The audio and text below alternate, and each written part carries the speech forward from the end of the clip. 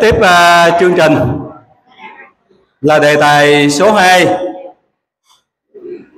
tức là tìm hiểu ý nghĩa bốn câu trong bài Đức Thầy đáp họa với ông Nguyễn Thanh Tân dặn lòng lục tự mựa đừng sai.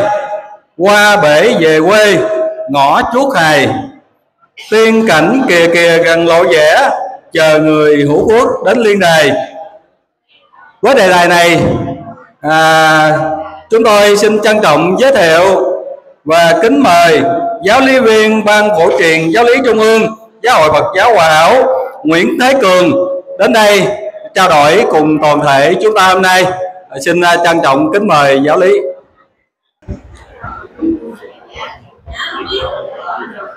Nam mô Bổn sư Thích Ca Mâu Ni Phật.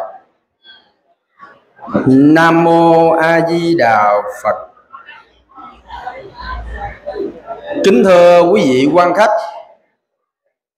lãnh đạo ban ngành các cấp chính quyền địa phương. Kính thưa quý vị là giáo lý viên của ban phổ truyền giáo lý, ban trị sự trung ương. Kính thưa ông Đặng Văn Thanh là trưởng ban trị sự giáo hội Phật giáo Hòa Hảo xã Phú Ninh kính thưa quý vị là trưởng phó trị sự viên đại sự, đại diện cho các ban trị sự lân cận đến tham dự. Kính thưa quý vị, trong các tổ từ thiện xã hội, các nhà mạnh thường quân cùng tất cả quý vị đồng đạo hiện diện kính mến. Kính thưa toàn thể chú quý vị. Hôm nay, nhằm ngày 27 tháng 7 năm Giáp Thìn Chúng tôi cũng như giáo lý viên Nguyễn Thị Trang được sự phân công của Ban phổ truyền giáo lý, Ban trị sự Trung ương được trở về đây với bầu không khí hân hoan trên tinh thần phấn khởi, thấm đậm nghĩa đạo tình người. Vậy lời nói đầu tiên của chúng tôi xin gửi đến quý vị lời chào mừng thân kính và lời chúc phúc an lành nhất kính thưa quý vị đồng đạo kính mến. Lúc nãy chúng tôi còn ngồi ở dưới. Thì uh, cũng có ờ, hai ba vị trong ban tổ chức lại hỏi chứ bữa nay giáo lý viên thiết giảng ờ, uh, nhắm đọc chừng uh, mấy câu giảng ngâm nga. Tôi nói nay đọc hết nổi không có đọc được câu nào.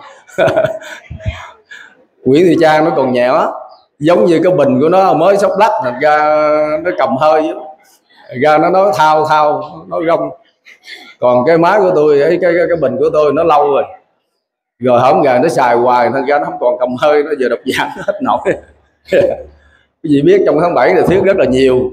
Giả lại lớp học ở dưới Cần Thơ lại là mở liên tục. Cho nên uh, mình cùng các vị giám thị giáo viên Cần Thơ là liên tục là ba lớp bốn lớp ba lớp bốn lớp từ lúc mà cuối tháng 6 cho tới tháng 7 này là liên tục thì hiện giờ là cũng còn đang là ba lớp. Đó. Rồi sinh hoạt rồi thuyết giảng rồi cái nọ cho nên cái tiếng nó hơi bị bị tách. Thường thường tôi thuyết giảng thì rất là thích đọc giảng. Thì đọc giảng lên cho quý vị đánh tan cái sự không trầm đó. nhưng bữa nay chắc đọc hết nổi rồi. Bữa hổm ở bên Long An bữa 24 rồi cũng gán đọc hai câu nó ghè. À, kéo lên hai câu nó ghè luôn. Không thấy. À, thưa quý vị bây giờ để trở lại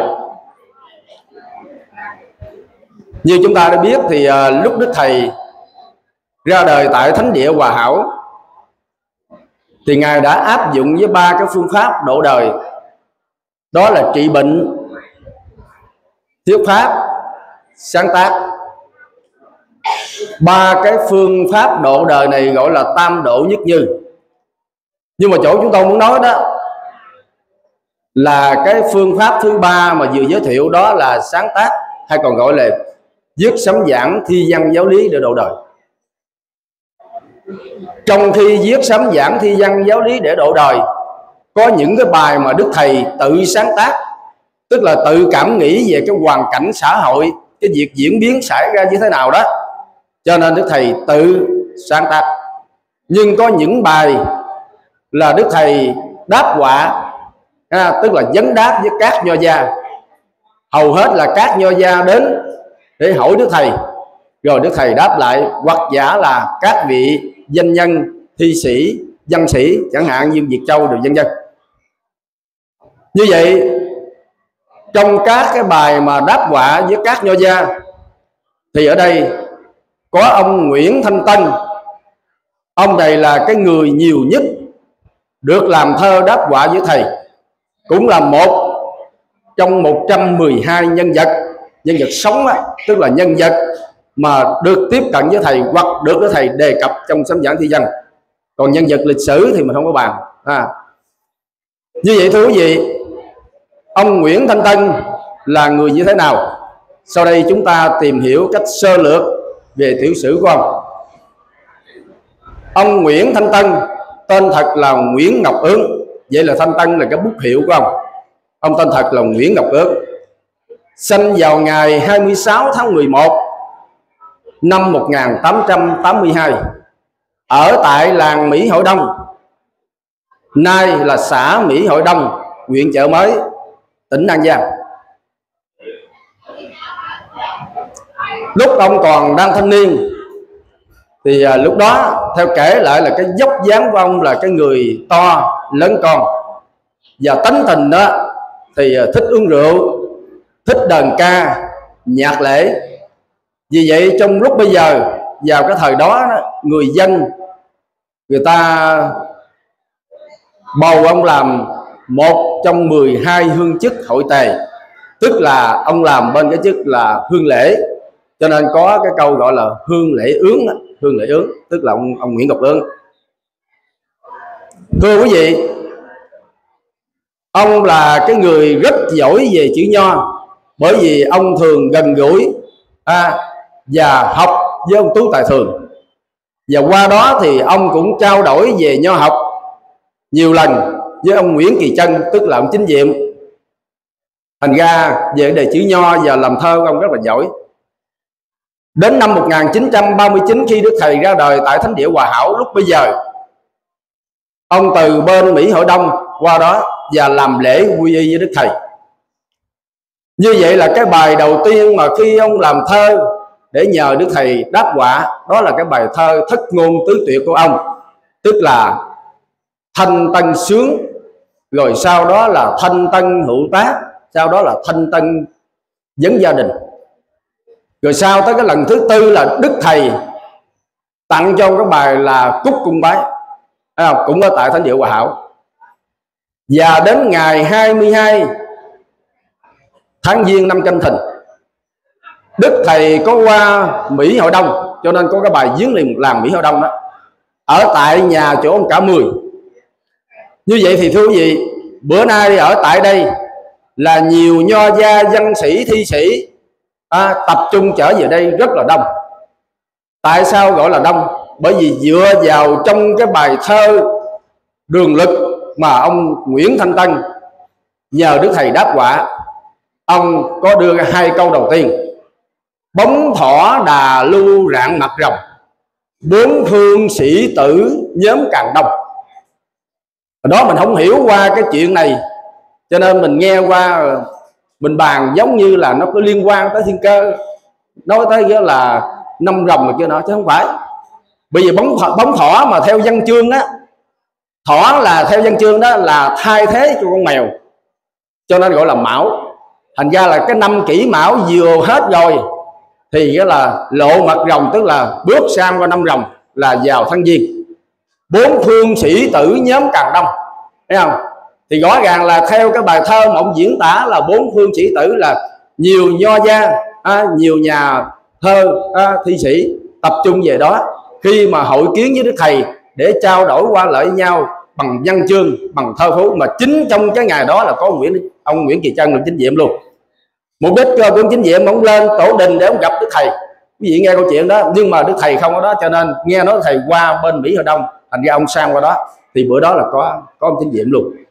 Cho nên trong cái cuộc tao ngộ này đó người ta nói cho nó hơi kêu một chút á hơi vui chút đó là giống như là cái chiêu đàn tao anh cát mà của ông mạc thiên tích à, tổ chức tại đông hồ ấn nguyệt chánh hà tiên ngày xưa vào cái đêm rằm tháng giêng gọi là đêm nguyên tiêu 1736 và ông đưa cái, cái chủ đề đó là dạ nguyệt hoa đăng chiêu anh thắng hội để cho các thi sĩ nhã ngọc cung châu đặt bút làm thơ.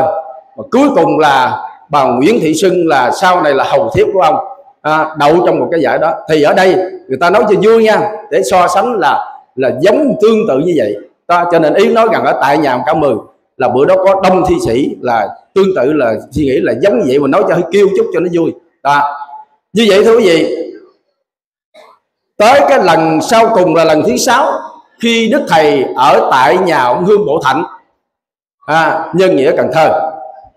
Thì lúc bây giờ ông nguyễn thanh tân cũng đến đó và ông đem theo hai cái bài thơ thất ngôn bắt cứu theo lối đường lực à, và cũng nhờ đức thầy giải đáp dùng và đức thầy giải đáp xong rồi ngài còn tặng thêm cho ông nữa là bảy khổ thơ theo thất ngôn tứ cố. À, bảy khổ thơ. Như vậy thì cái khổ thơ thứ hai được đem ra làm một cái chủ đề để trao đổi chia sẻ quý vị do ban của truyền giáo lý ban sĩ trung ương phân công chúng tôi trở về đây để gặp gỡ chia sẻ cùng quý vị đồng đạo chúng ta. Vậy thì bốn cái câu đó là gì? Dặn lòng lục tự mửa đừng sai qua bể về quê ngõ chúa hài tiên cảnh kìa kìa gần lộ vẻ chờ người hữu phước đến liên đàn à, như vậy thưa quý vị đồng đạo bây giờ ta tìm hiểu cái từ ngữ coi dặn lòng lục tự mửa đường sai. Sau khi giải thích từ ngữ xong thì mình phân ý lý luận chứng minh coi trong này đức thầy muốn nói về cái gì phiên chúng ta như thế nào. Bây giờ cái chữ dặn lòng chữ dặn lòng ở đây là không phải là đức thầy dặn mình hay là một vị phật hay một ai đó dặn mình. Mà chính bản thân mình dặn lại mình dặn lại cái lòng của mình. Mình tự dặn lòng của mình. Thấy không? Cho nên đức thầy chúng ta có câu, hiềm gì mắt lá thiên thơ, đôi điều ghi chép cõi bờ chưa xong. Thôi thì lòng dặn lấy lòng, gẫm đây đến cuộc mây gồng chẳng xa vậy thì rõ ràng ở đây là tự mình cân nhắc căn dặn lại với cái lòng của mình. À, cho nên gọi là dặn lòng. Lục tự tức là lục tự hồng danh là sáu chữ nam mô a di đà phật. Cái này ai cũng biết rồi. Đây là sáu chữ tức là chúng ta thường niệm nam mô a di đà phật là pháp môn tịnh độ mà đức thầy cũng như đức phật đã chỉ dạy chúng ta. Bởi vì pháp môn tịnh độ là pháp môn thù thắng nó phù hợp với căn cơ trình độ của chúng sanh tại sao gọi là thù thắng? Bởi vì thù là đặc thù đặc thù là đặc biệt đặc biệt là duy nhất mà duy nhất là có một không hai. Mà chữ thắng là vượt trội hơn tất cả các pháp môn khác. Mặc dù bên trong qua người ta đưa ra là có 10 tông phái, nhưng mà trong đó là cái tông tịnh độ là lại là vượt trội hơn tất cả các tông khác. Và nó phù hợp với căn cơ trình độ. Nơi nào có đạo Phật hay là nơi nào có đạo Phật giáo hòa hảo, nơi nào người ta, bất cứ tôn giáo nào mà hiểu và biết pháp môn tịnh độ, thì người ta đa số là ta tu theo pháp môn tịnh độ. Bị đã nói nó thù thắng. Cho nên sở dĩ nói thù thắng là gì? Là một là đối cơ đệ nhất, lòng thương chúng thiết phương tịnh độ đặng dắt diều tất cả chúng sanh. Hai nữa là dị hạnh đệ nhất. Nếu như ai cố chí làm lành chuyên niệm phật, cầu sanh phật quốc. Thứ ba nữa là quảng độ đệ nhất, là độ có năm loài một là tiên, hai là người ba là ma, bốn là quỷ, năm là súc sanh. Cả vũ trụ khắp cùng dạng vật, dù tiên, phàm, ma, quỷ, súc sanh, cứ nhất tâm tính nguyện phụng hành, được cứu cánh về nơi an dưỡng. Rồi cái là độ thứ tư nữa là gì? Là cứu cánh đệ nhất. Bởi vì tu khác có môn khác, có khi còn phải chờ đợi cái thời gian, hoặc giả là qua kiếp khác. Bị kiếp này không được Phật rước là bởi vì chưa đủ công hạnh, chưa đắc đạo tại thế gian, cho nên phải chờ đợi qua kiếp khác rồi nhiều nhiều nhiều kiếp khác nữa. Nhưng mà pháp ngôn tịnh độ, nếu chúng ta tu đúng theo cái công thức lời của Đức Phật, của Đức Thầy chỉ dạy, thì chắc chắn là chỉ một kiếp Tây phương hồi hướng. Thoát mê đồ, dứt cuộc luân hồi. Thưa quý vị đồng đạo kinh mến rõ ràng chúng ta thấy là có bốn cái công năng thù thắng đó. Thôi bây giờ, ở đây muốn nhắc qua cái chỗ là mưa đừng sai. Chữ mưa là gì? Chữ mưa đó là đứng trước cái chữ đừng hay là chữ chớ là nó thuộc về chữ sinh. Chữ mưa là sinh thấy không? Mà chữ sinh đó, đó là cái tiếng nhẹ nhàng hơn là cái hiệu lệnh của một cái cấp trên mà ra lệnh cho cấp dưới. Cái người trên ra lệnh cho cái người dưới.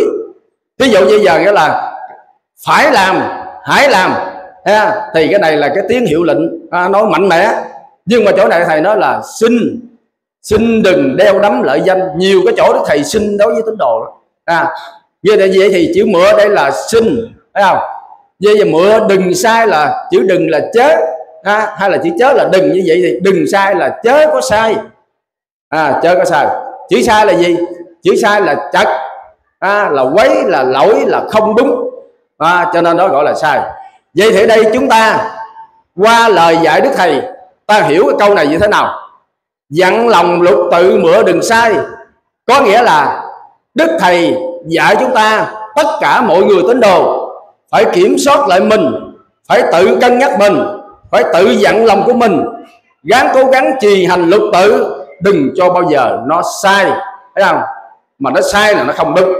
Vậy thì giờ như thế nào gọi là sai mà như thế nào gọi là đúng? À, đó là cái chủ yếu trong cái nội dung của cái câu này như thế nào gọi là sai? Ý nói rằng ta niệm phật như thế nào gọi là sai đó gì cái sai thì nó nhiều lắm. Nhưng mà cái đại khái dựa theo lời đức thầy dạy đó, sai thứ nhất là gì? Là ta niệm bị gián đoạn. Tức là không thường xuyên niệm, không thường xuyên chấp trì danh hiệu. Vì nhiều chỗ thầy dạy là chữ lục tự trì tâm bất diễn. Bất diễn là nó không có xa gợi với mình, phải không?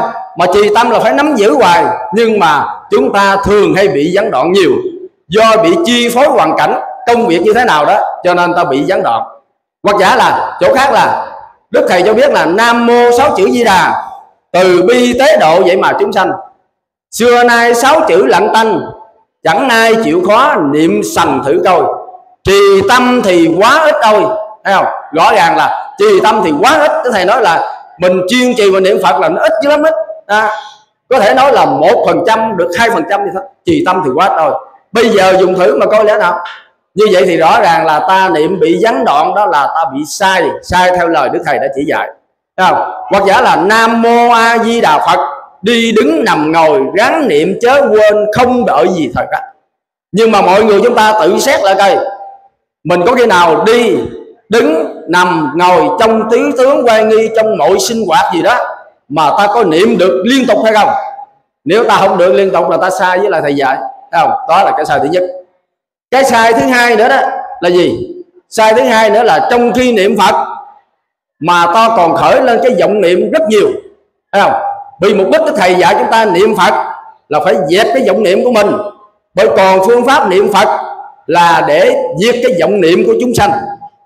Cho nên cái mục đích là niệm phật là để diệt vọng niệm chúng sanh. Mà vọng niệm chúng sanh là gì? Là chúng ta liên tục suy nghĩ nào là danh lợi cảm tình quy quyền phú quý. Rồi còn cũng tưởng mất cũng tưởng có cũng tưởng không cũng tưởng thành cũng tưởng bại cũng tưởng thương cũng tưởng ghét cũng tưởng. Rồi thất tình lục dục rồi bắt buộc à, bắt buộc chúng ta phải là phí biết bao nhiêu tâm cơ bao nhiêu thế nào. Chính vì những cái việc này mà nó làm cho tư tưởng chúng ta bị phân quá và chính vì vậy đó là ta không được tập trung để ta niệm phật.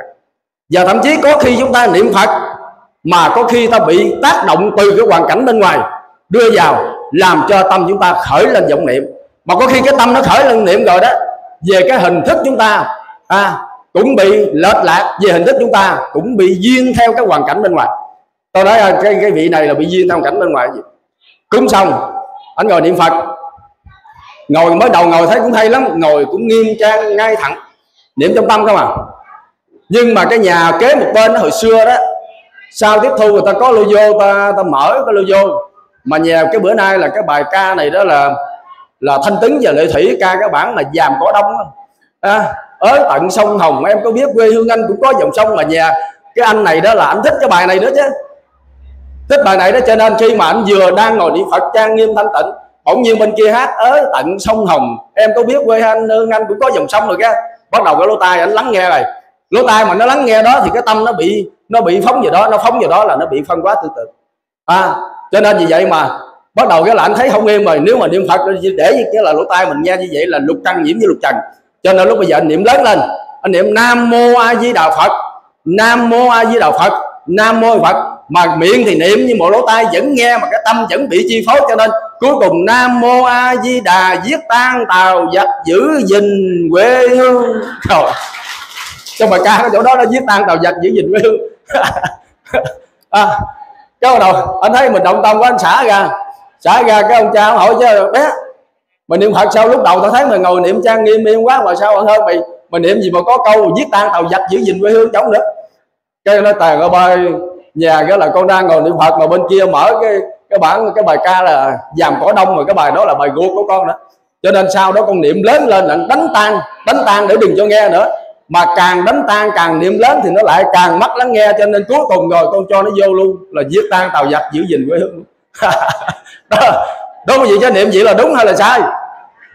Ờ sai chứ đúng vậy đó không? Đó. ví dụ cái giọng niệm nó khởi vô trong tâm đó, thì mình gắng cố gắng mình kiềm chế được. Mình gắng cố gắng mình kiềm chế đi đâu ai biết phải không? Còn này niệm mà còn nói lớn lên là giết tan tàu giặc giữ gìn quê hương cái nữa thành ra bị động tâm quá nhiều quá nhiều cái thứ cái sai nữa nào? Cái đó anh đó anh bị nhiễm gì cái lục căn, lục trần.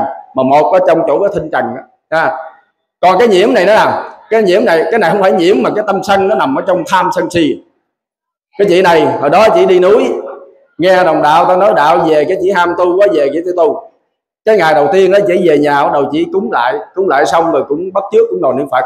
Bị trên kia ta dạy cúng xong rồi cũng ngồi niệm phật vậy đó.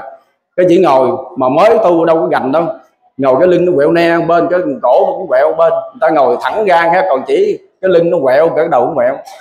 Rồi bắt đầu nhỏ đó, nhỏ nó đâu có biết, nhỏ là à, trong nhà nó chừng bốn năm tuổi không nó thấy sao mẹ mình bữa nay ngồi làm thinh mỗi bữa đâu có gì.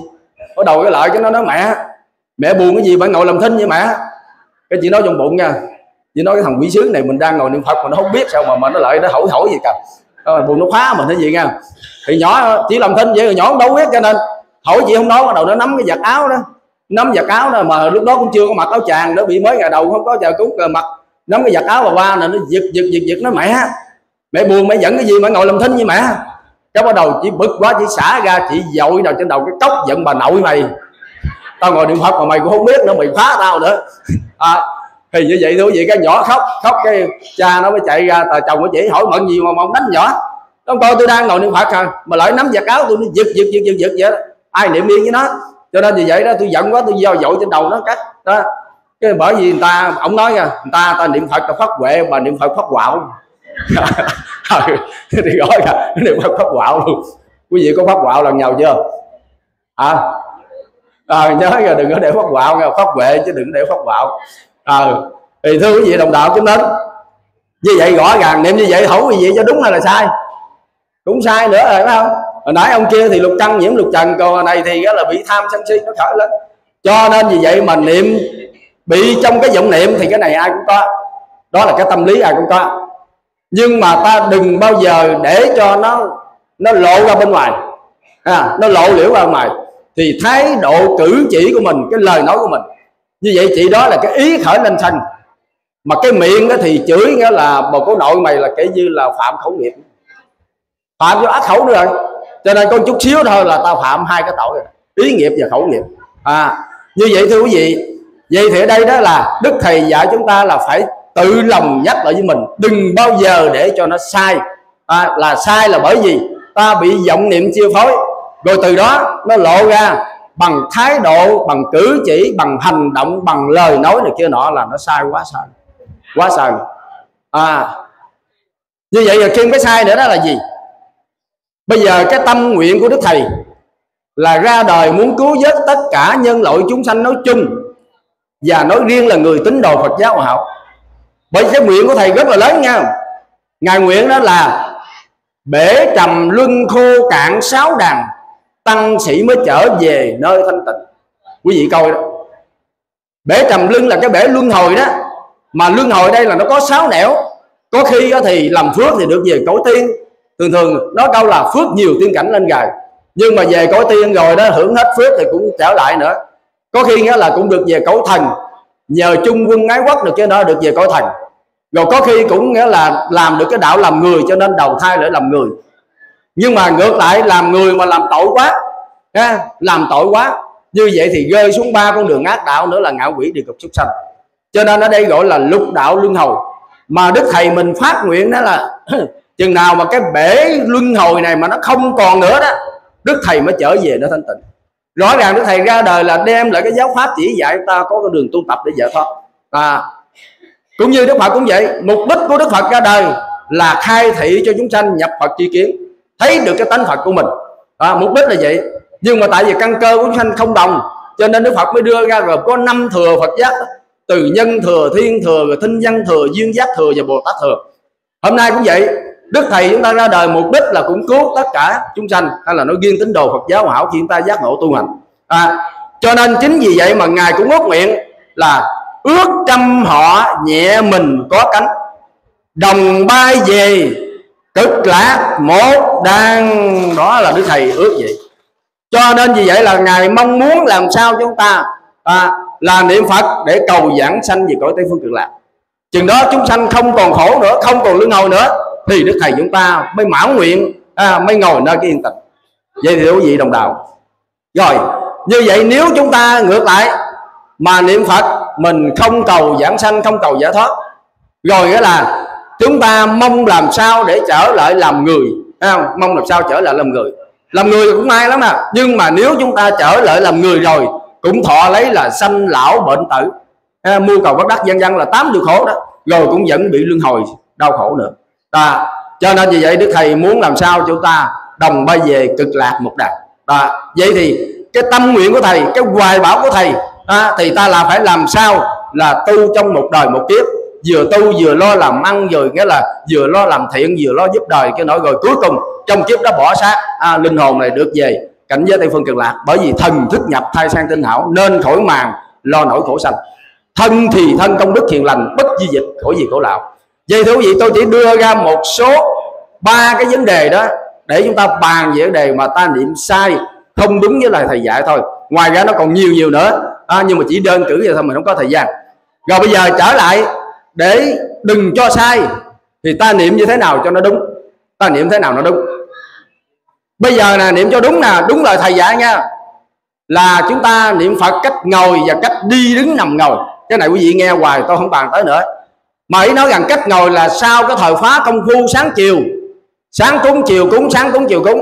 Nếu có điều kiện thuận lợi có sức khỏe tốt thì ta ngồi niệm phật ít nhiều tùy theo sức khỏe của mình tùy theo điều kiện và hoàn cảnh của mình. À, còn nếu như chúng ta không có điều kiện tốt sức khỏe không tốt à, hoặc giả hoàn cảnh lo làm ăn mắt buôn bán trong cái giờ đó thì chúng ta buông ra ta niệm theo tứ tướng ngoại nghi. Đó, lúc đó là mọi sinh hoạt gì? Đi đứng nằm ngồi ráng niệm chứ quên không đổi gì thời cách như phải ra. Đó là đúng theo lời thầy dạy là ta có hai cách. Rồi nghĩa là cái cách thứ ba cách thứ hai nữa là gì? Cách thứ hai là niệm cho nó đúng nè. Người niệm phật là phải đền trả tứ đại trong ngành tại sao? À ở đây mình không giải gì hết về tứ ân bị không có thời gian.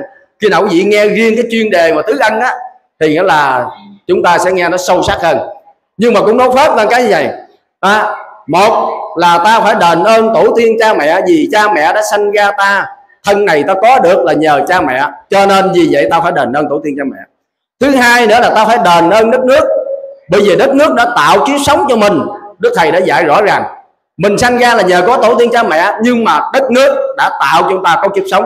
Được yên vui, được hạnh phúc về tinh thần vẫn vật chất là ta mang ơn đất nước rất là nhiều.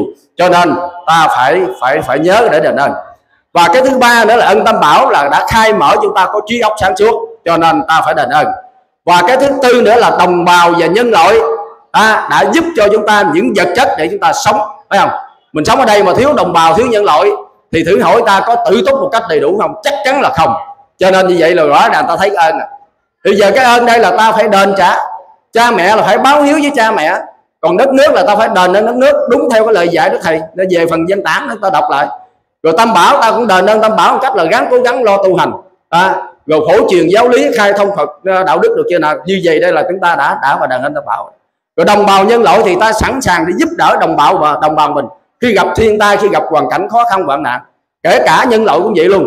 Đó cho nên vì vậy đây tôi tôi, tôi chỉ nói là phớt phớt ngang chút xíu tôi thấy rồi. Như vậy thì lý do mà ta ta đền ơn à, đền ơn là kể cả là đền trả trong tứ ân đó, thì rõ ràng đức thầy dạy cái người niệm phật chúng ta nè. Tu thân thiện tính ráng chuyên cần lục tự di đà giữ tử gần. Nhưng mà chỗ này ta hiểu đặt ra một vấn đề tại sao ta phải đền trả tứ đại trọng ân? Như đã nói là ta thọ ân là ta phải trả. À, mà giả lại cái người tín đồ Phật giáo hảo là lấy cái nền tảng tu nhân làm gốc. Đó là cái nền tảng nha. Nền tảng là nền tảng là nó một cái đà kiên cố vững chắc. À, thì đó là gọi là nền tảng. Thí dụ như quý vị muốn xây lên một cái tầng lầu ở trên. Như vậy như không ở trên không gian này nghĩa là ta xây tầng lầu được không? Không đó không được. Mà nhờ phải có cái tầng ở dưới mà tầng ở dưới nó phải kiên cố. Cất được cái nhà tầng trệt rồi ta mới lên cái tầng lầu ở trên. Tầng lầu ở trên là dí như là cái cái chương trình học Phật để giải thoát. Mà tầng ở dưới là dí như cái chương trình tu nhân cho nên Phật giáo hòa hảo là lấy nghĩa là nền tảng tứ anh à, làm gốc thành ra vì vậy cái lý do là cái đạo nhân ta phải gắng làm cho nó tròn. Bởi vì đức thầy cho biết là cần chi cản hỏi diễn dông làm người chưa giảng khó hồng thảnh thơi. Rõ ràng không? À, làm người mà không giảng gọi là là đừng mong mà mình được thảnh thơi thảnh thơi là về cực lạc hay về cõi tiên hữu quốc vậy. Sống đời thương quân vậy cho nên vì vậy cái đạo nhân chúng ta phải cho nó tròn cái đi à, hoặc giả là chỗ khác thầy cho biết là tu đền nợ thế cho rồi thì sao mới được đứng ngồi tòa sen? Vậy thì cái lý do đó mà ta cần phải đền trả tứ đại trọng ngân là bởi vì cái nền tảng là cái gốc của con người. À, chúng ta phải làm tròn cái đạo làm người trước đi. À, vừa niệm phật mà vừa làm tròn cái đạo làm người đền trả tứ đại trọng ngân. Rồi bây giờ cái thứ hai. Cái đúng thứ hai nữa là ta phải làm gì? Là cái người tu chúng ta là cần phải phải hành thập thiện. Hành thập thiện. À, thập thiện là tránh 10 điều ác không sát sanh không đạo tạp không tài dâm không lưỡng thiệt không ủy ngôn không ác khẩu không giọng ngữ không tham lam không sân nộ không mê si. Đây là 10 điều ác đạo phật cũng như phật giáo bảo à, thường răng cắn à, thường chỉ dạy chúng ta ngăn chặn chúng ta đừng bao giờ để mình vi phạm vào trong 10 cái điều ác này. À, vậy thì giờ tránh được 10 điều ác thì tự nhiên cái này tự nhiên thôi là 10 điều lành nó hiện ra. Ví dụ ta không sát sanh thì tự nhiên trong lòng chúng ta có lòng thiện là ta phong sanh. À, ta không đạo tặc trộm cướp gì của ai hết kể cả của quốc gia được cái đó thì tự nhiên ta có cái lòng nghĩa để ta ta làm việc nghĩa giúp đời. À, rồi kể dài tới tài dâm dài dài sao mình không có thời gian để giải thích. Như vậy thì lý do mà ta ta tu thập thiện trong khi niệm phật vì cần tu thập thiện thì sự niệm mới được hiệu quả tức là niệm phật. Thì trong khi ta niệm phật là ta phải tránh 10 điều ác ta làm 10 điều thiện này. Là tại sao? Bởi vì bá gia phải gắng làm lành niệm phật cho rằng đặng thấy thần tiên đó. Giá lại cái cõi cực lạc là cái cõi đó là cõi thuần thiện. Mà cái người phải thuần thiện thì mới về đó được. Còn cái người ác thì làm sao về đó được? Cho nên vì vậy ở đây là chúng ta muốn về cõi phật à, thì chắc chắn là ta phải tránh 10 điều ác và thực hiện 10 điều lành. Bây giờ cái thứ ba nữa là gì? Thứ ba nữa là người niệm phật là phải có tính nguyện hạnh đảm bảo là người được phật phải có tính hạnh thôi. À, nếu không có tính nguyện hạnh thì quý vị có niệm phật là cũng gieo duyên với phật. Rồi cũng hưởng được cái phước kiếp sau. Cũng hưởng được phước kiếp sau. Và tại sao ngày xưa ở nước Việt Nam chúng ta đó thì đó là có một cái vị nhà sư này đó là ông tu niệm Phật rất là tinh tấn. Nhưng mà hôm nọ Đức Phật mới đến dò cái đỉnh đầu nói nghĩa là con niệm Phật rất là hay rất là giỏi. Nhưng mà thôi sau này nghĩa là ta thọ ký cho con qua bên nước Tàu à, làm vua qua nước Tàu làm vua. Trong cuốn nhân quả gương nhân quả có kể lại rõ ràng vậy. Thì thú vị khi cái vị vua nước Tàu này đó sanh ra rồi là tự nhiên ở sau lưng đó là nó có mấy chữ là Việt Nam Quang Minh Tự Sa môn tỳ kheo tăng. Mới kêu mấy ông thầy à, mà bối toán lại coi lý do gì mà không có nước gì mà kỳ ra hết. Không có nước gì mà rửa ra mấy cái chữ đó 10 chữ đó hết. Cho nên các vị tướng số mới coi đó là bệ hạ là trước đây trước đây đó là theo mấy câu này là làm một nhà sư ở bên nước Việt Nam, ở tại cái chùa Quang Minh. Thì bây giờ ở ngoài Hà Nội, ở ngoài Bắc đó là có cái chùa Quang Minh luôn vậy. Đó. Cho nên ở đây câu chuyện muốn nói đó, thì lúc bây giờ cái vị sư này đó Đấy, ông, ông ông vua này đó ông rất là buồn. Ông nói ngã bản tây phương nhất phật tử dân hà lạc tại đế diên gia. Ta là con của phật ở tây phương mà tại sao phải lạc qua bên đây? À, tức là bên trung hoa để làm vua. À, như vậy thưa quý vị thì rõ ràng do gì ông có niệm phật nhưng mà cái nguyện tha thiết để cầu giảng sanh cực lạc thì thiếu. Cái niềm tin cũng hơi thiếu. Mặc dù cái hạnh là cái hành cố gắng hành nhưng mà có cái là cái niềm tin và cái nguyện nó yếu cho nên vì vậy cuối cùng cũng đầu thai lại làm người. Nhưng mà có phước. Hãy có niệm phật là có phước có tu là có phước. Một mai sách thúng ra đồng thế nào cũng được ít bông đem về. À như vậy thì ở đây cái người tu chúng ta là phải được phải được gì? Là phải được tính phải được nguyện. Có nghĩa là có tính có nguyện à, có hạnh thì mới đảm bảo được giảng sanh tây phương cực lạc. Bây giờ tính là gì? Chắc chắn là tao phải có niềm tin. Phải không? Có niềm tin tin ở lời đức phật thích ca nói ngày xưa là có tin ở đức phật a di đà là giáo chủ của tây phương là có. Rồi đó là tin cọ chỗ đức thầy chúng ta giới thiệu về cảnh giới tây phương cực lạc là có. Tin ở cái nhân niệm phật và cái kết quả là được giảng sanh cực lạc là có. Đó. cho nên tính nguyện à, nguyện là tha thiết cầu sinh để về đó. Theo đồng đạo mình bàn đó sớm chiều mà chúng ta cúng lại là tao nguyện rồi đó. À, chẳng hạn như ta nguyện cái bài cuối đầu lại tạ tổ tông báo ơn sinh dưỡng về công nhọc nhằn về con xin giữ đạo hành tu cầu tông tổ siêu thăng phật đài. Trước hết là mình cầu cho tông tổ mình đi. Của quyền thế tổ mình siêu thăng phật đài. Rồi bắt đầu tới rồi mình nguyện làm cho đẹp mặt mày mới thoát nơi khổ hải liên đài được lên, được ta nguyện rồi. Hằng ngày mình nguyện là thoát nơi khổ hải liên đài là liên đài là quá xém. Được lên mong nhờ đức cả bề trên độ coi ngộ như mình độ tu.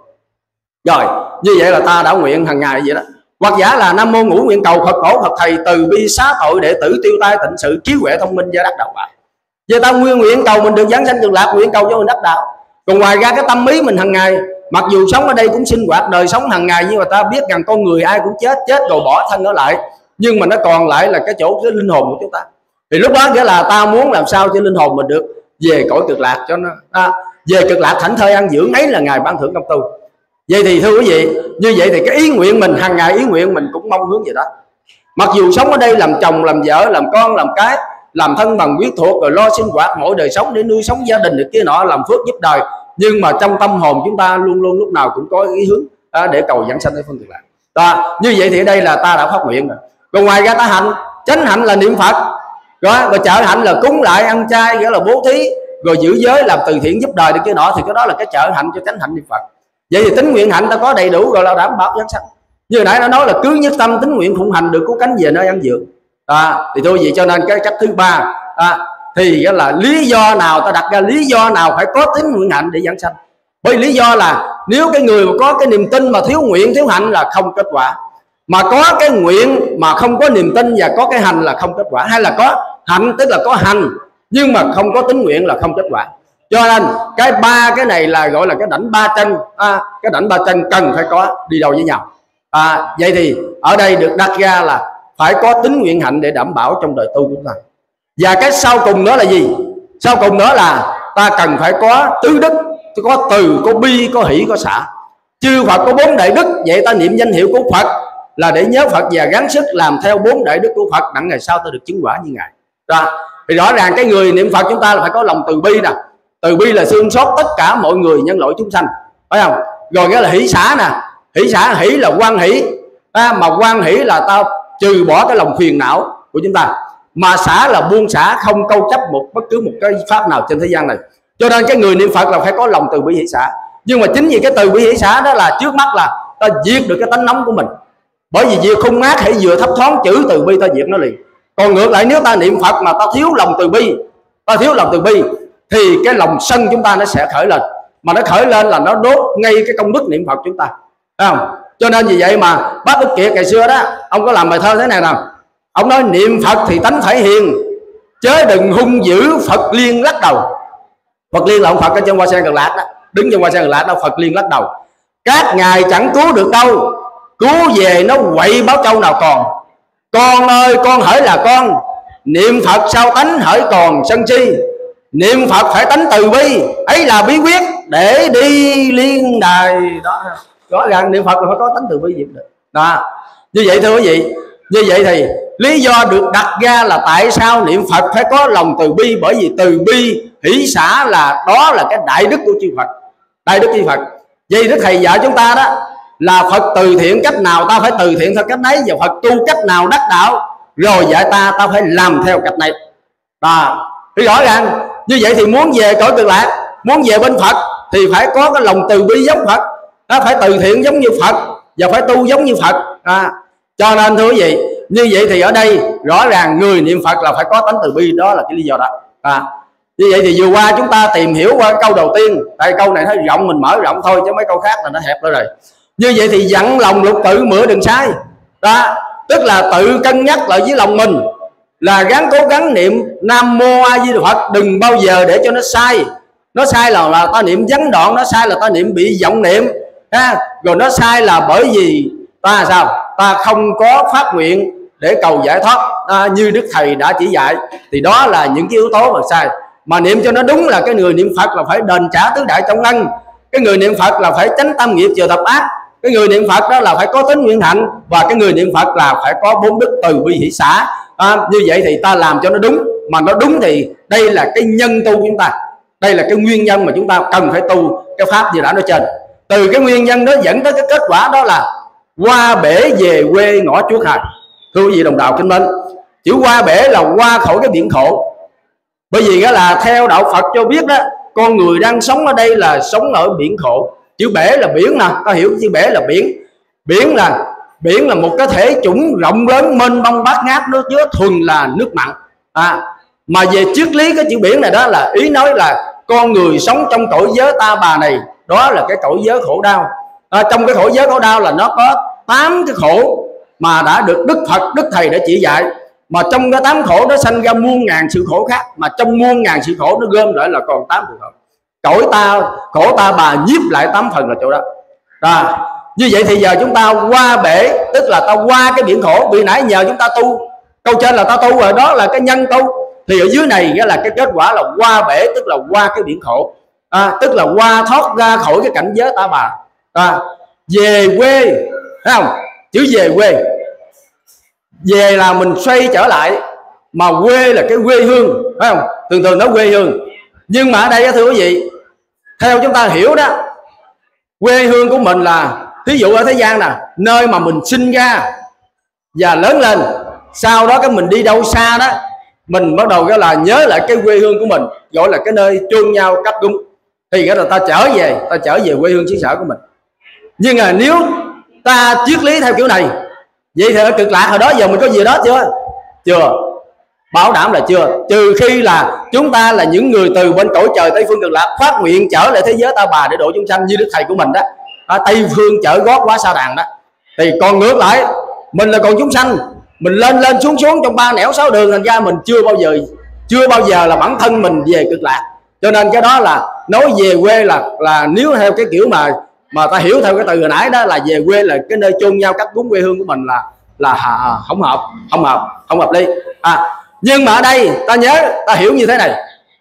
Cái cách giải khác đó bởi vì đức phật a di đà ha, ngài là một vị phật đã thành phật. Còn chúng ta được gọi là phật tử là con phật. Cho nên nghĩa là tất cả chúng sanh đều có tánh phật, đều có phật tánh. À thành ra gì vậy đó là cha mình là đức phật a di đà làm giáo chủ cõi tây phương cực lạc. Còn mình là hiện giờ còn đang lăn lộn trong ba nẻo sáu đường.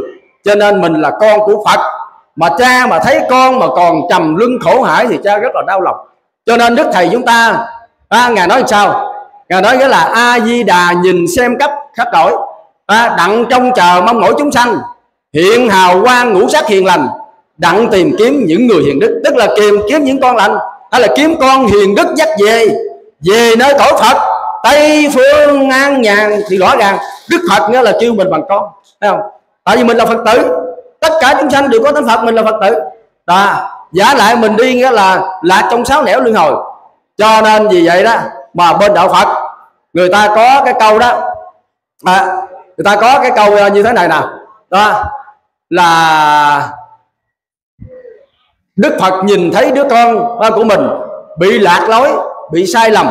Cho nên vì vậy mà đức phật rất là đau lòng. Phật rất là đau lòng.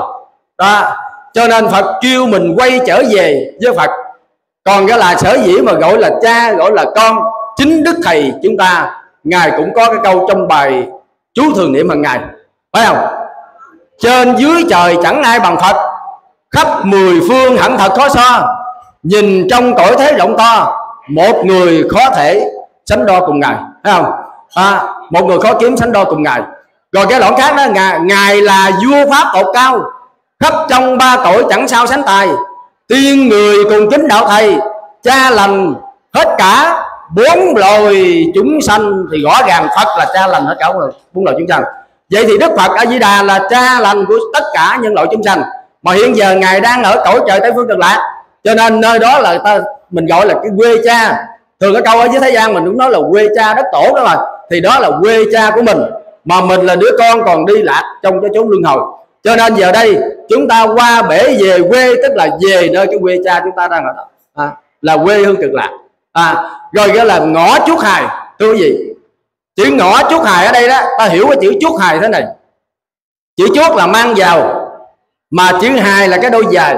Chữ hài là đôi dài. À, như vậy chuốt hài là mang đôi dài vào chúng ta hiểu nghĩa thế nào? Ủa vậy là sao? Có nghĩa gì đâu phải không? Nhưng mà ở đây cái triết lý ta hiểu thế này. Bởi vì cái thời đó thời đức thầy chúng ta ra đời đó là con người chúng ta sống rất là khổ thiếu thốn vật chất đủ thứ hết. Cái người nào mà giàu sang phú quý mới có cái đôi dài mà mang gì? Còn cái đường nghèo là đi vào không chân không thôi dép nhiều khi không có mang đừng nói đôi dài cho nên đôi dài ở đây là dụ cho những người giàu sang phú quý thấy không? Thành ra gì vậy đó là ở đây muốn nói rằng cái cái sống sung sướng cái hạnh phúc cái hưởng thụ à, cái hưởng thụ có cái người quý phái thì cái là muốn nói là ngõ chuốt hài tức là ta mang nó vào vào là ý nói rằng cái là ta được về bên cõi cực lạc là ta hưởng thụ được những cái sự sung sướng. À, bởi vì cuộc y thực muốn chi đủ thứ không nhọc nhằn lo việc sanh nhai chí yên nhàn nhìn cảnh thật đài khổ quả khổ mua cầu đất dài dài tới là nói chung là đó là cái cảnh hưởng thụ. Và bây giờ ta so sánh nè để mình khỏi thắc mắc. Bây giờ tại sao cái câu khác thầy cho biết ha cầu cho già trẻ gái trai rủ nhau niệm phật, liên đài đắc lên. Rõ ràng về cõi phật đúng không? Thế gian ngay thảo đắp đền là trung hiếu lưỡng toàn, phải không? Ngày sau sẽ được chăn mền thơm to. Vậy thì giờ mình niệm phật, rồi mình được chung được hiếu, mà ngày sau sẽ được chăn mền ờ, thơm to. Có nghĩa là chăn là gì? Có hai nghĩa. Một là cái giờ, cái sờ gông nè. Thứ hai nữa là cái cái cái mền đắp nè. Thấy không? Rồi chăn mền, như vậy thì chăn mền thơm to. Ý nói rằng, nghĩa là có cái mền để đắp.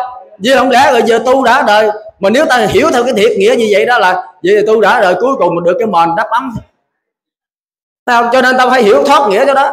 Cho nên ý nói hồi xưa đó con người ta quần áo rất là thiếu thốn. À, thậm chí những nhà nghèo nghĩa là cái mùng văn mà ngủ đó là mùng dách à, rồi nghĩa là lúc mà trời đêm đông giá lạnh chưa chắc gì có cái mền để mà đắp. Nếu mà nhà nghèo đó thì chỉ có những người mà giàu có người ta mới có nghĩa là giường cao niệm rộng mới là có mền có đắp là ấm là kia nọ thôi. Cho nên đây cái câu nói cũng so sánh ở chỗ đó đó ý đó rằng sau này nhờ chúng ta niệm phật nhờ chúng ta chung với hiếu lưỡng toàn cho nên cuối cùng nghĩa là ta được có kết quả tốt là à, nghĩa là chăn mền thâm to. À, mà chăn mền thôi là được giảng sanh cực lạc được sống đời thông quân tính đức hay là ta được mọi sự sung sướng. Vậy thì ở đây nghĩa là ngõ chút hài để so sánh cái chỗ chăn mền thâm to là nó vậy. Đó là muốn nói sự hưởng thụ sung sướng ở cảnh giới tây phương cực lạc. Rồi như vậy thì đại ý câu, câu thứ hai này là qua bể về quê ngõ chút hài qua bể là qua khỏi cái biển khổ đau này. Cảnh giới ta bà chúng ta đang sống đây. Về quê là cái quê hương cực lạc. Mà nơi đó là đức phật a di đà là cha lành. Đó là ngài đang chờ đợi đang tìm kiếm những đứa con nào hiền đức niệm phật để cầu sanh về cảnh giới của ngài. Đó là cái quê cha đất tổ của tất cả chúng sanh. À, như vậy thì đó là về quê ngõ chúng ta là về đó ta hưởng thụ mọi sự sung sướng ở cảnh giới tây phương cực lạc. Về cực lạc thảnh thơi an dưỡng ấy là ngài ban thưởng công tu thì thưa quý vị đồng đạo kính mến. Qua cái câu thứ ba. À, tiên cảnh kìa kìa gần gũi vẽ thấy không? Chữ tiên cảnh ở đây á lấy cái chữ tiên mà ta bàn đó nó có những ý thế này. À, theo truyền thuyết kể lại bên trung hoa ngày xưa đó nó có gọi tiên ở ở ở ở thế gian này. À, gọi là địa tiên đó. Chẳng hạn như là ở tại chỗ cái biển bục hải nó có bồng lai phương trượng danh châu nơi đó là ta, truyền thuyết ta kể đó là nơi đó là tiên ở. Ta sao được dựa nơi non nhược thủy rồi đó, là biển một hải đó. Như vậy thì ta câu chuyện phong thần, các vị tiên mà còn đấu đánh với nhau là kia nọ, còn binh vực với nhau, thì đây là địa tiên. Cho nên tiên thứ nhất là địa tiên là tiên đó ở non núi biển đảo tu hành chứng quả cái tiên thứ hai là thiên tiên. Thiên tiên đó là nằm từ chỗ dục giới, sắc giới và vô sắc giới. Nhưng mà có hai hạng, một là tiên hưởng phước cho nên đức thầy cho biết là phước nhiều tiên cảnh lên gài ở thế gian ta làm phước quá nhiều. Cho nên cuối cùng ta được về cõi tiên hưởng phước. À, à, rồi đó là cái tiên thứ hai nữa là cũng do có cái công đức tu tập thiền định. Từ sơ thiền nhị thiền tam thiền tứ thiền cho nên ta được về cõi tiên. Tùy theo công đức tu tập nó khác nhau. Có khi nghĩa là còn nằm ở dục giới có khi lên sắc giới có khi vô sắc giới. Và cái tiên thứ ba nữa là gì? Tiên thứ ba nữa là giải thoát tiền tiên thứ ba là giải thoát tiền tiên này là như là ông cử đa rồi quý vị đại thiên la tiên ngang bằng với bậc a la hán tiên này ra khỏi tam giới. Còn có nghĩa khác là trong ờ, phật quan từ điển ta dạy là đại tiên là chỉ cho đức phật. Phật là cái bậc đại tiên hơn tất cả các vị tiên khác. Cho nên ở đây nói là tiên cảnh kia kia kia kia là chỉ đó. À, kia kia cái là cái ngạc nhiên. Cái mà ta thấy nó lố dạng cái bóng nó vừa ló dạng cho nên ta quá ngạc nhiên cho nên ta nói kia kia. Ví dụ như giờ quý vị đi đâu muốn tới cái mục đích đó à, đi xe đi xuồng đi ghe đi bộ gì đó. Mà mình thấy cái cái cái mục đích đó cái chỗ cái cảnh đó nó vừa hiện ra trước mặt. Mình ngạc nhiên quá nó kia kia tới rồi kia kia kia. Đó là đó là đó là chỉ cho kia kia là tiên cảnh kia kia. Gần lộ vẻ chữ gần là cái bên mà chữ lộ vẻ là nó sắp hiện ra trước mặt của chúng ta. Đó. thì cái này đó theo uh, bàn đó nó có hai cách. Một là cái cảnh giới tây phương cực lạc à, là nó sắp lố dạng khi chúng ta thấy. Một là nhờ chúng ta có công đức tu tập cho nên vì vậy có khi chúng ta thấy được hiện cảnh cực lạc. Các vị thiền sư và các vị ta tu tinh tấn đó thì các ngài cũng kể lại là có khi người ta thấy được cái cảnh tây phương cực lạc. Thấy không? Nó nó lớn hơn nó vừa hiện ra là mất vừa hiện ra là mất. À, chứ không phải là thấy rõ ràng như ban ngày vậy. À, rồi nghĩa là ở đây chúng ta cũng vậy. Nếu quý vị tinh tấn hành trì đúng theo lời thầy dạy cố gắng niệm phật thì cái cõi cực lạc nó sẽ sắp hiện ra. Tao hoặc giả là chờ đến lúc lâm chung có những người đến lúc lâm chung nhờ tinh tấn hành đạo cho nên các vị đó có khi thấy được phật a di đà có khi thấy được các vị thánh chúng hay các vị bồ tát có khi thấy cái cõi cực lạc nó hiện ra. Cho nên cái hiện ra nó rất là ngạc nhiên cho nên ta nói kia kìa à, gần lộ vẻ là kế bên với mình. Đó. Hoặc giả là có chỗ khác bàn là cánh tiên ở tại thế gian này đó là cả cái hội long hoa thấy không? Cảnh đời thượng nhất cái hội long hoa nghĩa là đó cũng là là lố dạng ra để chúng ta thấy. Đó. nhưng mà cũng dành cho người niệm phật bởi vì cái người niệm phật á, có người thì ta mong sống đời thượng quan tính đức như hậu long hoa có người thì muốn giảng sanh cực lạc, có người thì muốn đầu thai trở lại làm người để hơn phước. Thì đây là do cái tâm nguyện của mình. Cho nên cái tiên cảnh kia kia gần lộ vẻ là cái tâm nguyện chúng ta muốn sống đời thượng quan tính đức dự hậu long hoa thì nghĩa là nó cũng lộ vẻ chúng ta. Còn ra muốn giảng sanh cực lạc thì nghĩa là cố gắng tu trong hiện tiền này ta sẽ thấy được cái cõi Phật hay là Phật A Di Đà hoặc giả là đến lúc lâm chung hấp hối ta thấy cái hiện cảnh nó hiện ra để Phật cướp chúng ta vậy đó. Đó là mới gọi là kia kia gần lộ dẻ rồi bây giờ qua cái câu sau cùng. Chờ người hữu phước đến liên đài. Thưa quý vị đồng đạo kính mến cái này nó trùng ý với à, cái, cái chỗ hồi nãy là Nguyễn Thị Trang bàn thấy không? Cũng hồi nãy là cái đề tu phước mà này là chờ người chờ là ngóng là đợi là trong mà hữu phước là cái người có phước thấy không? Chữ hữu là có. Mà phước là gì? Chữ phước là phúc. Mà phúc là mọi việc hạnh lạc may mắn tốt đẹp thuận lợi. Nó đều đưa đến cho chúng ta. Không có gì mà nghịch cảnh bất kỳ hết. À, trái ý chúng ta hết. Cho nên vì vậy đây là cái người đó gọi là cái người có phước. Thấy không? Chờ người hữu phước đến liên đài. À, liên đài là về cõi tây phương cực lạc. Liên đài là hoa sen cái đài hoa sen. Đến liên đài là về cõi tây phương cực lạc. Nhưng mà thưa quý vị ở đây chúng ta cũng bàn một chút tôi không có bàn giống như nguyễn thị trang, mà tôi bàn cái phước khác, thấy không? Đó, bây giờ, cái hữu phước là thế nào? Con người sống ở trên thế gian đó, nếu quý vị nhìn đối mặt với những người nào, có thể là ta đánh giá được nghĩa là chính xác khoảng tám chín chục phần trăm là người đó có phước. À cái người đó có phước. Tôi nói gì đâu, quý vị thấy mình có phước không? Có năm cái phước như thế này nè. Một là gì? Là phước thọ phải không? Phước thọ là cái người đó là cái tuổi thọ tăng cao. Yêu cầu quý vị sống mà từ 70 tuổi trở lên gọi là có phước rồi đó. Hồi xưa ta nói câu sao? À, nhân sanh thất thập cổ lai hy. Con người mà sống mà 70 tuổi là xưa nay hiếm có. Mà bây giờ quý vị mà sống mà hơn 70 tuổi mà quý vị ngồi đây là thấy hơn 70 tuổi nhiều lắm đó là quý vị có cái phước thọ rồi đó. Thấy không? Đó. nhưng mà có cái nữa nha. Cái phước thọ sống dai rồi nhưng phải có phước trí nữa mới được. Cái thứ hai là phước trí còn sống tới 70 tuổi mà nó lú lẫn này kia nọ, rồi là cái gì không xong. Cái đó là cái như không có trí rồi, cái phước trí không có rồi đó. Có người bị cái gì? Có người sống tới 70 tuổi, bị lẫn, bị quên. Đó. khi nhớ, khi quên, thì cái phước trí ta không có. Còn cái là ta có phước trí rồi đó, là ta nhớ ta nhớ.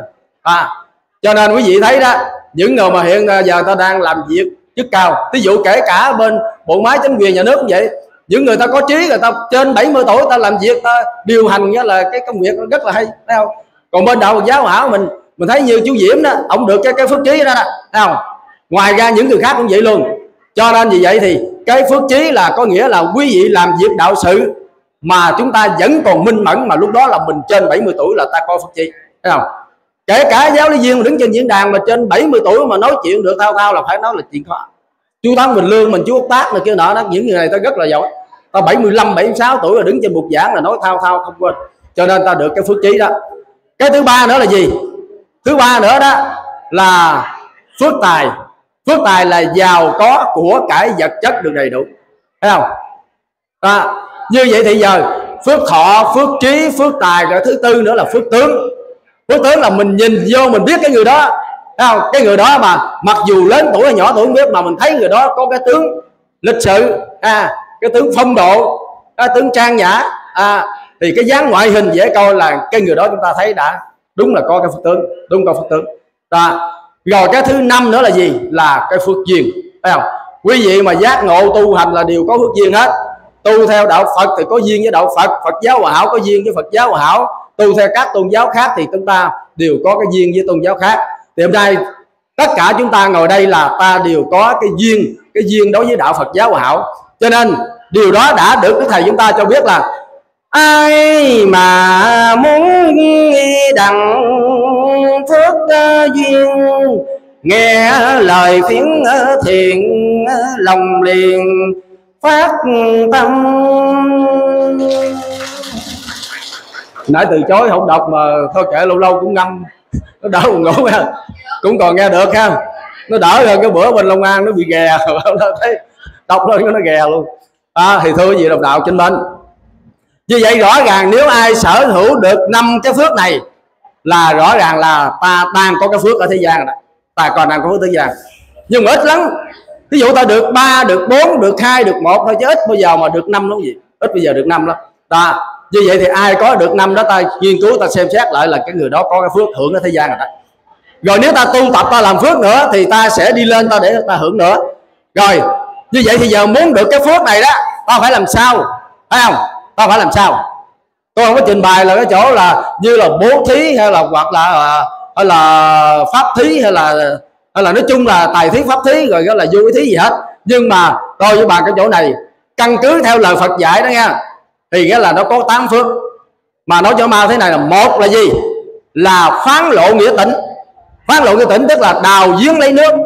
Hồi xưa bên ấn độ đó, nó ít có sông rồi sông rạch lắm. Cho nên vì vậy hãy cái người nào mà dùng cái sức của mình hồi đó, ta bằng, làm bằng thủ công các bạn cho nên dùng cái sức mình mà đào được, có cái giếng nước đó để cho dân chúng cho, trong vùng ta xài, ta sử dụng cái nguồn nước đó là cái phước này rất là lớn thì ngày nay đó, người tín đồ Phật giáo họ kể cả những người nào làm từ thiện, không riêng gì cái tôn giáo ai làm từ thiện giúp đỡ người khác bằng cái nguồn nước. Đó là cái người đó là đang làm được cái việc như Phật dạy đó là phán lỗ như tỉnh rồi đó. Như vừa qua đó là ở Tiền Giang ở Bến Tre ở Cà Mau những cái tỉnh mà nó xâm nhập mặn mà những người làm từ thiện mà đem nước đó đến cho hoặc giả chở nước từ nơi khác đến cho để người ta sinh hoạt ta tắm ta giặt ta à, uống này kia nọ ta xài đó thì kể ra quý vị làm được cái việc đó là phán lộ của tỉnh. Nói chung là chúng ta cho cái gì mà liên quan tới nước mà cho người khác đó là phán lộ của tỉnh hết cái thứ hai nữa là gì? Thứ hai nữa là kiến tạo cầu lương phải không? Tức là bắt cầu cho người ta đi. À, và thứ ba nữa là bình trị hiểm mãi có nghĩa là ta làm lộ cho người khác đi. Ở đây gọi là bắt cầu vào lộ. Mà cái này coi chung là nhiều tôn giáo ta làm cũng rất là nhiều mà tín đồ Phật giáo hảo ta làm rất là nhiều phải không? Trên tinh thần từ thiện ai đóng góp vào công sức tài vật à, để bắt cầu để bồi lộ thì rõ ràng là ta đang làm được cái việc là bình trị hiểm ngã và kiến tạo cầu lương có cái thứ tư này nó khác chút nào thứ tư là là báo hiếu phụ mẫu. Thưa gì tại sao báo hiếu với cha mẹ mình gọi là có phước? Ở đây phước lớn lắm nha. Trong kinh đức phật nói thế này nào cha có tâm từ mẹ có tâm bi. Nếu như người nào à, đem của báo trên thế gian này cúng dường cho 100 vị bà la môn thanh tịnh 100 vị đại thần tiên 100 vị thiện chi thức cái phước ấy rất là lớn. Nhưng cũng không bằng cái phước mà người con biết báo hiếu đối với cha mẹ mình. Rõ ràng, Đức Phật đã khẳng định rõ ràng như vậy thì báo hiếu với cha mẹ mình, đó là cái phước rất là lớn. Cái phước rất là lớn. À cái phước đó, nếu cộng với cái công đức tu tập niệm phật chúng ta thì chắc chắn đảm bảo được giảng sanh. Còn nếu dầu cho quý vị không tu mà quý vị báo hiếu không, thì cũng đảm bảo là kiếp sau đầu thai lên làm người giàu có, hoặc giả là được về cõi tiên hưởng phước. Đó, cho nên vì vậy đây là báo hiếu phụ mẫu là rất là lớn à, thì thưa quý vị đồng đạo kính mến chúng ta nên nhớ cái này ta phải gắng sức ta cố gắng ta làm mới được.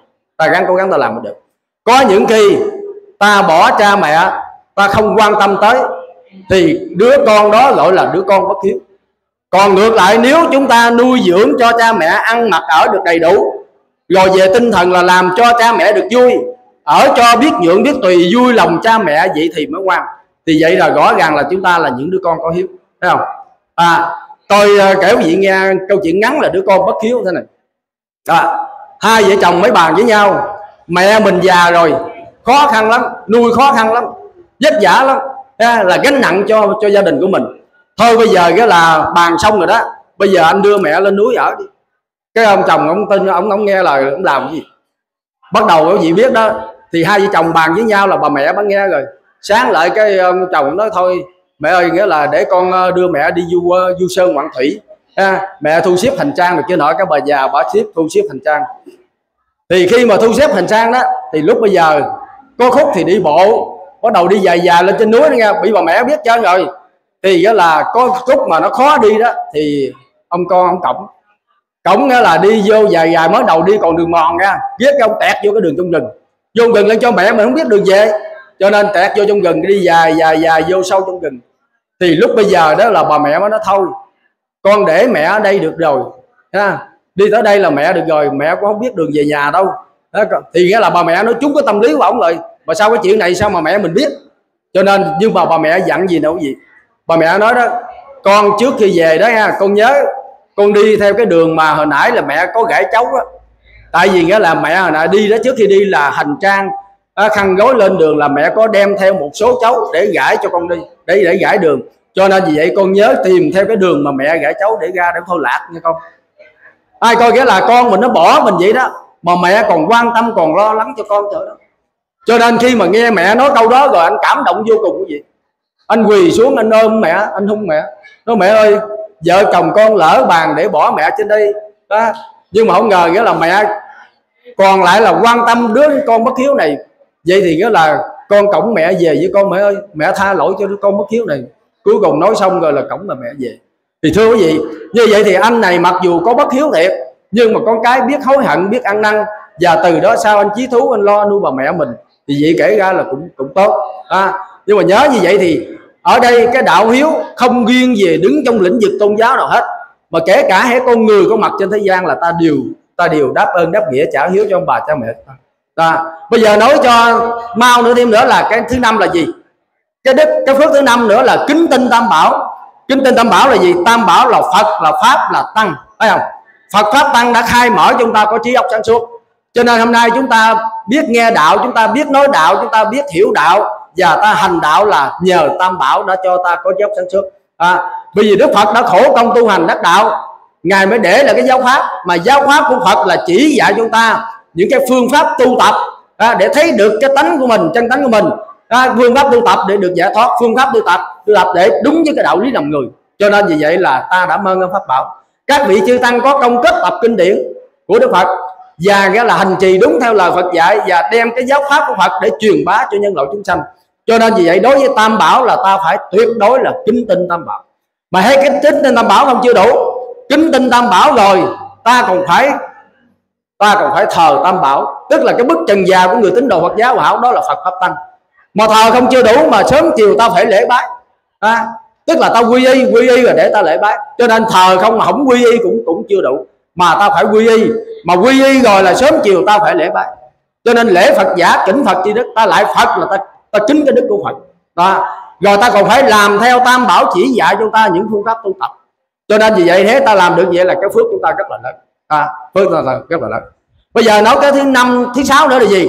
Là cầu cứu tế bằng cùng. Cứu tế bằng cùng. Giúp đỡ những người nghèo khổ túng thiếu à họ không có cái nhà để ở hay là cái nhà ở kẹp hư gách ta sẵn sàng công sức tài vật rủ nhau đóng góp nhau để cất cho họ có cái nhà để ở. Gọi là cứu tế bằng cùng. Họ thiếu gạo để ăn ta giúp cho họ bằng nắm gạo tình thương. Nói chung họ thiếu vật chất cái gì? Ta có ta sẵn sàng ta giúp đỡ họ. Cho nên đây gọi là cứu tế bằng cùng đây cũng là cái công tác từ thiện hay là cái việc bố thí chúng ta. À. và cái thứ uh, thứ uh, thứ uh, thứ bảy nữa đó là cầu sự bệnh nhân. Cầu sự bệnh nhân là gì? Gì? Cái gì mà ta giúp đỡ con người mà liên quan tới tới bệnh là điều gọi là cầu sự bệnh nhân. Thấy không? Ta đi kiếm thuốc nam chặt thuốc nam phơi thuốc nam. Có khả năng thì làm thầy thuốc hốt thuốc nam. Thấy không? Thì nghĩa là điều là có liên quan tới thuốc nam mà giúp đỡ cho bệnh nhân. Đó là ta đang cầu sự bệnh nhân. Rồi bây giờ cái là quý vị cái là hùng tiền với nhau mua sắm chiếc xe từ thiện thấy không? Để đưa rước bệnh nhân miễn phí đều gọi là cầu sự bệnh nhân. Câu chuyện mới xảy ra hôm gà quý vị. Hôm gà ban trị sự ờ, phường Thới Long chúng tôi ở quận Long Môn thành Cần Thơ á là đang vận động để đi mua xe từ thiện. Vì trước đây có hai chiếc mà nó hư rồi. Từ khi có xe tới giờ là khoảng 10 năm nay. À, nhưng mà chiếc xe xe sau này xe chuyên dùng nó cũng được năm sáu năm mà bị sửa hoài hư hoài. Cho nên bây giờ đang vận động à, để nghĩa là mua xe từ thiện mà vận động hết cả khu vực luôn. 11 khu vực trong cái phường đó, đó là gọi là ấp á thì gọi là vận động hết luôn phân công đi vận động. Thì hôm qua cái anh bảy mà anh trưởng ban đó trưởng ban sự đó anh cầm miếng giấy lên anh nói nào quý vị tôi cho quý vị coi nào. Là hôm qua có thằng nhỏ này đó học sinh nó mới có 6 tuổi thôi gọi là đứa bé 6 tuổi thôi nó ghé nhà tôi. Nó ghé nhà tôi nó nói ông bảy ơi. Nó kêu bằng ông ông bảy ơi bữa hổm là mấy ông có vận động ghé nhà của con để xin tiền uh, mua xe từ thiện. Con thấy ba má con cũng cho rồi mà con không có tiền để con cho. Hồi sáng này đó là ba má cho con được 10.000 đồng bạc để con đi học. Bây giờ bữa nay con nhịn ăn con để 10.000 đồng này để con đóng góp vô xe từ thiện. Gì thấy cao không? Đóng góp vô xe từ thiện. Cho nên cái ông bảy ờ, trưởng ban sự nữa. Ông bàn ông nói nữa là tôi đề nghị với quỹ ban dân phường thảo long đó là làm cái giấy khen đó. Nhỏ đóng góp như 10 ngàn bạc. Khen đó là gì? Khen nó có tấm lòng. Ờ, à, 10 ngàn bạc thì cái giá trị nó không có bao nhiêu. Cái giá trị nó không có lớn. Mà khen cái tấm lòng của nhỏ bữa đó nó nhịn ăn một ngày. Nó nhỏ tuổi mà nó còn có tấm lòng là đóng góp vô mua xe từ thiện. 10 ngàn đồng bạc thôi. Là quý vị biết là phải làm cái băng khen khen à, cái bằng cái, cái giấy khen khen đó. Là khen cái tấm lòng của nó đó nhưng mà ở đây nhỏ nó làm gì được nha? Còn quý vị trong túi tiền tỷ mà đóng góp vô 10 ngàn đồng bạc là ta nghĩ quý vị như thế nào? Tấm lòng của quý vị tấm lòng gì? Tấm lòng ích kỷ. À, chứ đừng có đừng có thấy gì vậy? Người ta khen là nhỏ gỡ đầu. Thôi nhỏ cho có 10 ngàn bạc còn có giấy khen. Vậy thì tôi cho cũng 10 ngàn 5 ngàn bạc. Chắc không ai dám khen đâu. Mình có tiền tỷ mà cho có 5 ngàn 10 ngàn ai khen mình? Rồi cái là có lần đó anh Đức Thành nó gì? Đức Thành mà thường anh cho mỗi xe từ thiện đó là 200 triệu mình ờ, vận động đủ đi. Ví dụ được 500 triệu xe đó 700 triệu thì anh đưa lên, lên là anh dẫn đi mua xe. Là 700 triệu là anh 200 triệu. Nhưng mà kỳ đó anh cũng xuống với ban sự thôi đó anh làm cái lễ thông xe. Anh nói anh ít có duyên đi được làm lễ thông xe bữa nay có duyên đi xuống đây. Đó. Thì khi mà nghe cái uh, trong ban uh, vận động ban điều hành xe đó người ta báo cáo lên là người này 500 300 1 triệu. Có cái chị bán vé số này là chỉ bán vé số mà chỉ đóng góp vô 100 ngàn thì anh Đức Thành nghe kỹ rồi khi mà anh lên phát biểu đó anh nói hồi nãy tôi rất là tâm đắc cái chị bán vé số mà cho 100 ngàn để hùng tiền để mua xe. Tôi rất là tâm đắc. Tại sao vậy? 200 triệu của tôi chứ không xứng đáng bằng 100 ngàn của chị này. Tại vì tôi làm một ngày là trên 200 triệu. Cái thu nhập của anh là công ty Đức Thành ở ở Long Xuyên mình đó, là trên 200 triệu. Mà cái cô này đó là một ngày của bán vé số lời một một trăm ngàn. Mà nhà cũng nghèo đó mà nghĩa là bán số lượng trăm ngàn rồi, đóng góp vô cho xe từ thiện này. Cho nên vì vậy là tôi rất là tâm đắc. Ở đây người ta cũng muốn dẫn chứng về cái tấm lòng của con người trên cái tinh thần từ thiện, mà nhất là quan, liên quan tới vấn đề là mua xe từ thiện, gọi là cầu sự bệnh nhân. Thì thưa gì như vậy thì nói chung, tất cả việc làm nào ta đóng góp công sức, tài vật có liên quan tới bệnh nhân đều gọi là cầu sự bệnh nhân. Bây giờ thậm chí giờ mình không có tiền để đóng góp, không có công đóng góp mình đến mình thăm cái người bệnh mình dùng lời nói an ủi người bệnh thì rõ ràng là ta đã ngay lúc đó là ta đã cầu sự bệnh nhân. Rồi thậm chí bây giờ cái là người bệnh à, người bệnh đó mà bây giờ cái là gia đình người ta nhờ mình đến để cầu an cho người bệnh thì đây là trên tinh thần tín ngưỡng về tâm linh cầu an cho người bệnh. Có những người may mắn họ vượt qua cái bệnh đó cái họ hết bệnh có khi họ sống được năm 10 năm luôn cả nghĩa là mười mấy năm luôn. Nhưng có người tới số rồi thì cũng không thể nào vượt qua được thì cuối cùng họ chết. Cho nên vì vậy mà hễ nghĩa là cầu sự bình nhân gọi là cầu an không xong rồi bắt đầu tiếp theo nữa là cầu siêu. À, qua thứ tám. Phước thứ tám là cầu siêu. Cầu siêu mà đức phật gọi là gì? Là thiết vô dạ hội thiết vô dạ hội là tức là siêu độ cho dân. Nhân phải không? Bên đạo phật thì ta tổ chức là tụng kinh để cầu siêu cho cái dông hồn đó cái người chết đó. Bên đây đạo phật giáo và hảo đức thầy đã dạy chúng ta. Bây giờ chúng ta đã quy đầu phật thì do sự thành tâm cầu nguyện đem sức khẩn giáo của anh chị em trong đạo cầu nguyện dâng linh người chết được siêu sinh được cõi thọ. Ta thì rõ ràng ở đây ta có tổ chức cái chương trình để cầu cầu siêu. À, cầu linh hồn cho được giảng sanh đây chỉ rõ đường đi nước bước. Thì thưa quý vị trên cái phương diện cầu siêu ở đây đó thì theo trong kinh địa tạng dương đức phật nói đó là cái phước rất là lớn. Cái người cầu siêu cái phước rất là lớn. Không? Trong đó kể đó là cái người mà cầu siêu á mà thành tâm á là cái phước nghĩa là được 70 phần trăm. À, còn nghĩa là cái người mà chủ nhà tổ chức đó là được 20 phần trăm. Còn cái người mà chết đó, họ hưởng được chỉ có 10 phần trăm thôi. Họ hưởng được có 10 phần trăm thôi. Cho nên, ở đây nói là như vậy. Thành ra đồng đạo chúng ta nghe. Cho nên mình rất là thích đi cầu nguyện, phải không? Rất là thích đi cầu nguyện. Tuy nhiên, cái vấn đề được đặt ra đó, cái mục đích mà chúng ta đến đó cầu nguyện là cái mục đích thế nào? Trong lòng của mình suy nghĩ gì mình biết không? Nếu chúng ta suy nghĩ cầu nguyện với mục đích là cho người này được nhẹ tách đường duyên sang sanh về cái cảnh giới an lành thì cũng tốt thôi. Nhưng mà nếu chúng ta cái chỗ mà đi cầu nguyện đó ta có chỗ lợi dụng là thế này thế khác. À, trong đó nó chịu nó khởi lên cái tâm tham nó khởi lên cái tâm sân. À, tham sân si nó khởi lên rồi bữa đó ta cầu nguyện nó không được kết quả mà câu chừng ta bị âm lại ta bị lỗ lại. Bị lỗ lại là cái gì? Là bị ta đãi cho mình ăn đó. Mà lỡ lại đó lỡ cầu nguyện cái đầu mình ta đọc cái bài cúng nguyện đó mà nó sai với cái mình cái bắt đầu mình nổi nóng lên là cái như tâm sân nó khởi lên. Ví dụ giờ hồi đó giờ mình đọc nam mô phật tổ phật thầy nay chúng con thành tâm cầu nguyện mà gặp cái ông kia ông đọc giái phật tổ phật thầy có nổi nóng lên liền. Thấy không? Mình nổi nóng lên liền. Vì hai cái quan điểm này giờ nó bất đồng với nhau mà mặc dù đức thầy đang dạy là chỉ giái đó chấm hay chấm nó phật tổ phật thầy mà có người đọc nam mô phật tổ thầy có nổi, nổi nóng lên. Như vậy hai quan điểm bất đồng mà nổi nóng lên là cái này nó sai.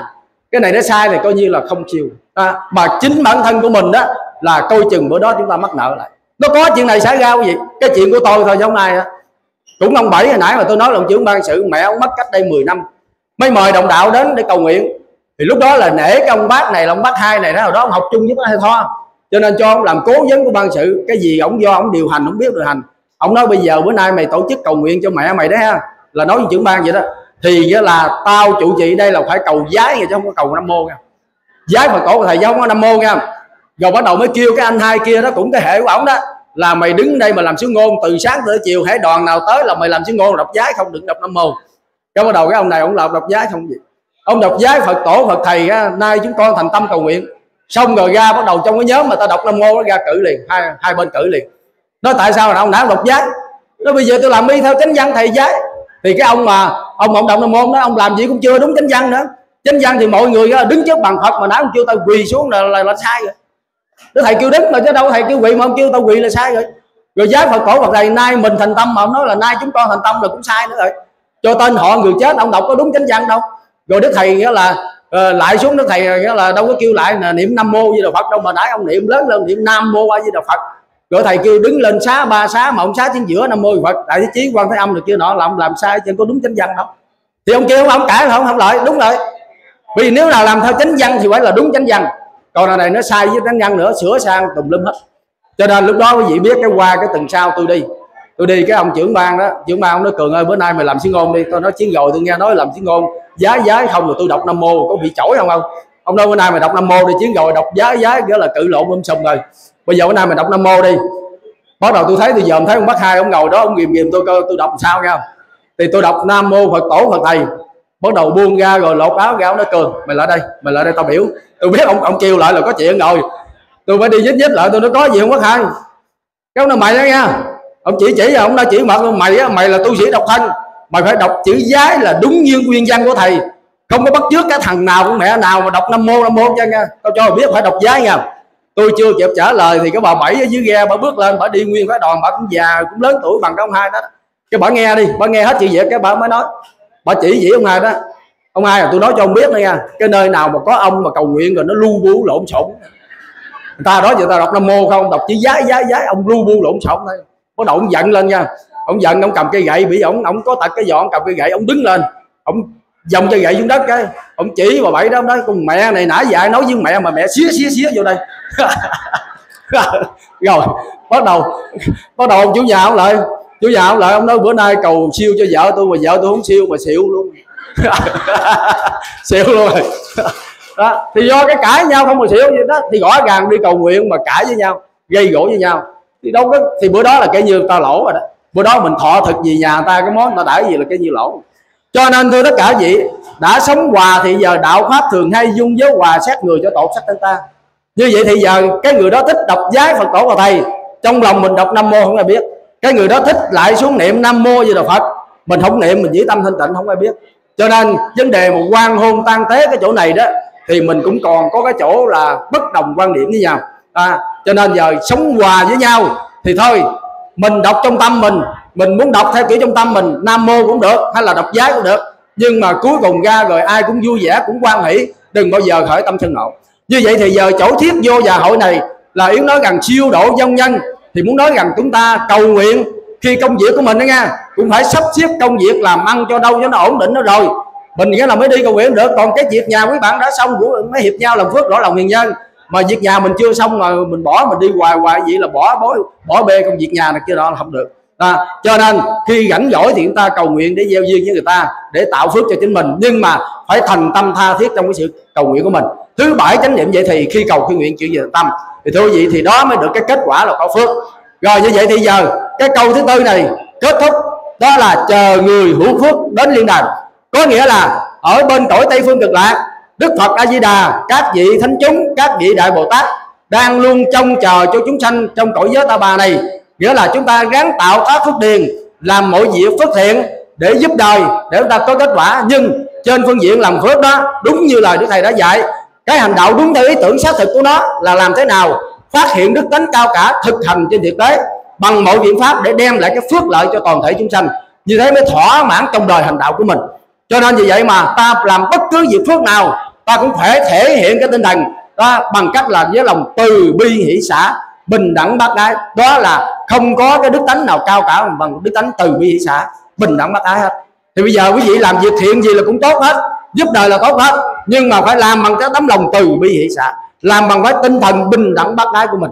Còn ngược lại, ta làm gì tham, lợi dụng gì đó, hay là gì sân gì si, hay là gì cái việc nào khác đó, thì đương nhiên, chẳng những coi chừng nó thiếu cái phước, mà nó còn bị âm nợ thêm, nếu nó nhiều. Cho nên vì vậy ở đây, chờ người hữu phước đến lên đài là chờ những người có công tu tập, biết làm phước, biết giúp đời, thì đương nhiên cái kết quả chúng ta được Phật rước về cõi cực lạc. Đó, kể cả ta niệm Phật cũng là cái phước rất là lớn. Cứu khổ nam mô vô lượng phước, Việt Nam tu rị hữu thiên kinh. Thưa quý vị đồng đạo kính mến, vậy thì tóm lại, bốn câu giảng này được rút ra từ trong cái bài thứ nhì, cái khổ thơ thứ nhì mà đức thầy đã cho ông nguyễn thanh tân dặn lòng lục tự mượn đường sai, qua bể về quê ngõ chú hài tiên cảnh kìa kìa gần lỗ vẽ, chờ người hữu phước đến lên đài. Vậy thì chỗ này, thầy dạy chúng ta là mình tự cân nhắc lại với lòng mình là nam mô a di đà phật tức là lục tự mưa đừng sai. Nếu không cho nó sai thì ta phải làm cho nó đúng phải không? Mà muốn làm cho nó đúng thì người niệm phật là phải đền trả tứ ân người niệm phật là phải à, phải tránh tam nghiệp chừa thập ác và người niệm phật đó là phải có bốn đức từ bi hỷ xã và người niệm phật là phải có tính nguyện hạnh được đầy đủ. Đó, mà được như vậy là ta đã đúng đúng là ta tròn được cái nhân tu của pháp môn tịnh độ và cuối cùng ta được cái kết quả qua câu thứ hai qua bể về quê ngõ chút thầy tức là ta vượt qua cái cảnh khổ ta bà này, được về bên chân trời cực lạc bên kia để ta hưởng thụ được mọi sự sung sướng, an lành ở bên cảnh giới cực lạc. Bởi vì về cực lạc thảnh thơi ăn dưỡng ấy là ngài ban thưởng công tu và qua cái câu thứ ba là tiên cảnh kia kia gần lộ vẻ.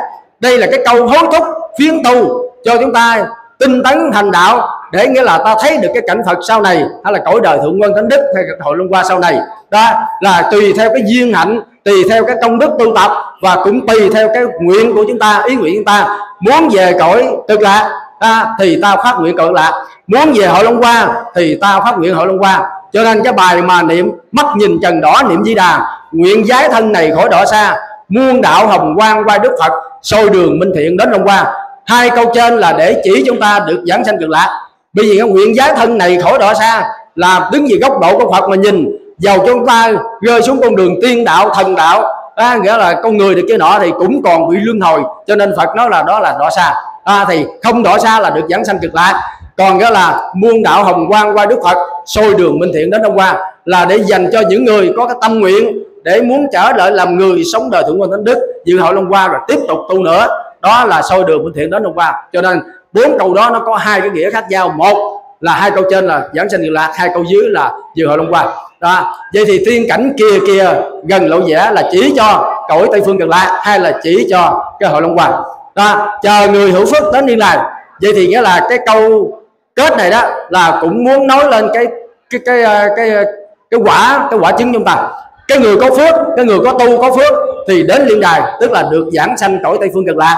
Thì thưa tất cả quý vị vậy thì rõ ràng bốn câu giảng này thuộc về cái phương pháp tu tập cái nhân tu và cái quả chứng và cái kết quả đó là chúng ta đảm bảo được giảng sanh cực lạc. Nếu ta làm đúng theo lời đức thầy đã chỉ dạy thì thưa tất cả quý vị đồng đạo kính mến vừa qua trong uh, suốt một cái thời gian khoảng hơn một tiếng đồng hồ chúng tôi trình bày cùng quý vị qua cái chuyên đề bốn câu giảng như đã nói trên mong gần tất cả quý vị đồng đạo cùng tôi cũng nỗ lực phấn đấu, cùng tinh tấn hành trì, làm đúng theo bốn câu giảng này để chúng ta có cái kết quả là nhờ có nhân tu và có kết quả chứng là đảm bảo được giải thoát trọn vẹn trong một đời kiếp này.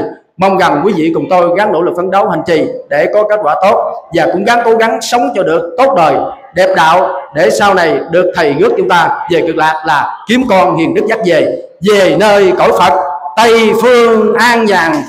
Nam mô Bổn sư Thích Ca Mâu Ni Phật. Nam mô A Di Đà Phật. À, kính thưa. Trước hết là chúng tôi cũng rất là chân thành cảm ơn thì à, các cấp chính quyền cũng à, chấp nhận cho chúng tôi được trở về đây để gieo duyên cùng quý vị đồng đạo nơi đây và chia sẻ sự hiểu biết của mình trong quá trình tu học với cái đề tài mà chúng tôi đã trình bày vừa qua. Cũng xin chân thành cảm ơn ban trị sự giáo hội Phật giáo Hảo xã Phú Ninh ban tổ chức chương trình thuyết giảng đã long trọng tổ chức được cái diễn đàn như thế này để chúng tôi về đây làm cái bổn phận của mình. Và cũng xin chân thành cảm ơn quý vị đại diện cho các ban trị sự cơ sở đến đây tham dự cùng cảm ơn tất cả quý vị đồng đạo chúng ta, tất cả quý vị đã tạm gác mọi công việc đạo sự nơi khác, mọi công việc gia đình của mình đến đây tham dự rất đông đủ, làm cho cái chương trình thuyết giảng hôm nay không kém phần long trọng. Xin cảm ơn quý vị. Và trước khi dừng lời ở đây, cũng cầu chúc cho tất cả quý vị chúng ta về mặt đời, mặt đạo, luôn được dồi dào sức khỏe và được thành đạt trên nhiều lĩnh vực. Về mặt đạo, chúc cho tất cả quý vị đồng đạo chúng ta luôn nỗ quả lực, phấn đấu, tinh tấn, hành trì và thực hiện đúng theo lời của đức thầy đã chỉ dạy để chúng ta có kết quả tốt là tu đền nợ thế cho rồi thì sao mới được? Đứng ngồi tò sen xin thân ái kính chào. Nam mô bổn sư thích ca mâu ni phật, nam mô a di đà phật. Nam mô